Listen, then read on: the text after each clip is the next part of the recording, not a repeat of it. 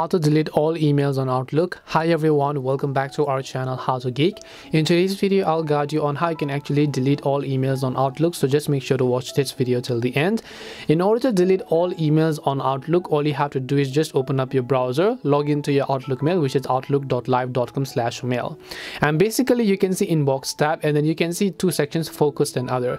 So if I want to delete all the emails inside focus, I'll just select this focus section here and then I'll just select all. So basically you can see and then here you'll find the option called empty focus or you'll also find empty focus at the top.